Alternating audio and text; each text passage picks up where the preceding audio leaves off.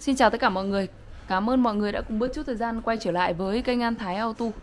Trong video hôm nay bên em sẽ gửi tới anh em sản phẩm. Đó chính là van tiết lưu một dâu. Van tiết lưu hai dâu sử dụng cho điều hòa ô tô, máy xúc, máy công trình Với các kích thước là R12, R134 à, Với cái dòng R12 thì nó sẽ có 3 kích thước thông dụng Từ 14, 19, 16, 19, 16, 20 Đấy, 14, 19 này.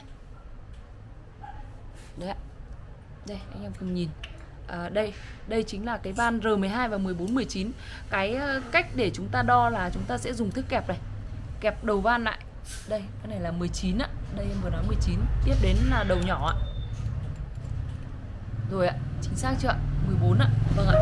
Cái, Đấy là cái ờ, dòng van một dâu. Thì nó sẽ có từ 14, 19, 16, 19 16, 20 16, 20 là dòng Nissan Ford Tota à, còn đây là một dâu 1622 R134 đây chúng ta sẽ cùng mở ra nhìn thấy sự khác biệt. Đó đây chính là sự khác biệt của R134 và R12 đây cái R12 thì à, chúng ta sẽ nhìn thấy này. Giữa giữa cái R12 thì nó sẽ có một cái à, điểm G đúng chưa đây ạ.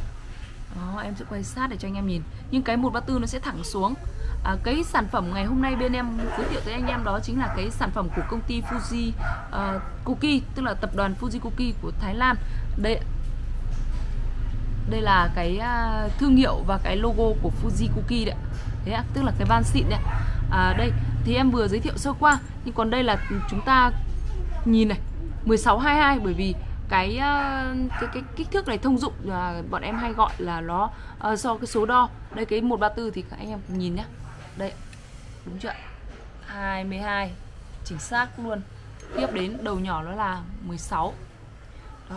chúng ta vừa tìm hiểu uh, sơ qua các cái um, loại của một dâu.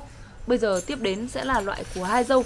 À, với loại của hai dâu thì uh, nó cũng sẽ có bốn kích thước 14 19 16 19 16 20 và 16 22 có thể nói cho tới thời điểm hiện tại thì cái van 10 ba mẫu van mà em đang gửi tới mọi người đây tức là 16 19 này 16 20 và 16 22 thì nó là một trong số những cái dòng van rất là thông dụng cho tới thời điểm hiện tại còn cái cái loại 14 19 thì nó là đời cổ và nó rất là ít xe.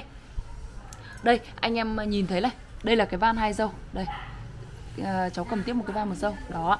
Đây, đây chính là cái sự khác biệt của hai dâu và một dâu. Đây là một dâu là nó có một dâu cảm biến ra da lạnh, còn hai dâu. Nó là có hai dâu cảm biến ra dàn lạnh, một dâu bắt trực tiếp vào đường ống đấy, một dâu bắt trực tiếp vào dàn. Nó sẽ ờ, đây là cái sự khác biệt giữa hai dâu và một dâu. Rồi, vừa rồi thì bên em có vừa giới thiệu sơ qua tới anh em à, cái sản phẩm. Đó chính là cái van tiết lưu hay là còn gọi là van điều tiết trong xe ô tô, máy xúc, máy công trình, xe tải, xe con. À, với cái dòng sản phẩm của Fuji Cookie Thái Lan và Fuji Cookie Japan. À, với các kích thước em đã nói rồi ạ à, anh em có nhu cầu quan tâm tìm hiểu tư vấn về sản phẩm hãy liên hệ với em theo số 0769086333 hỗ trợ kiểm tra lắp đặt thay thế tại gara ô tô BMT số 1 ngõ 319 Tam Trinh. Số liên hệ là 085 6727222 em xin cảm ơn. Hẹn gặp lại mọi người trong những video tiếp theo. Em xin chào.